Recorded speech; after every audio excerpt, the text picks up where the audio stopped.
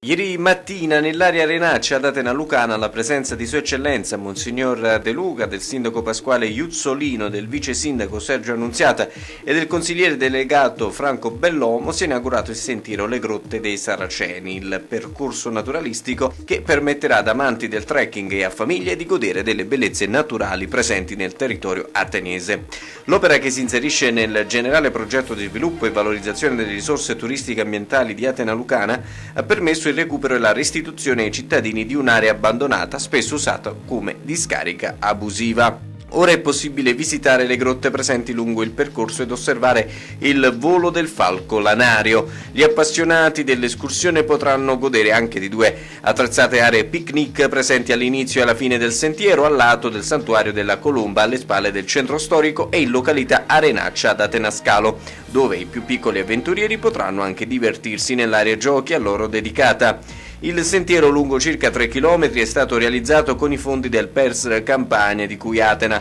è stata l'unica a beneficiarne, così ha dichiarato ai nostri microfoni l'attuale vice sindaco e assessore all'ambiente Sergio Annunziata, che al momento dell'inizio dei lavori guidava da sindaco l'amministrazione che ha dato il via alla realizzazione del progetto.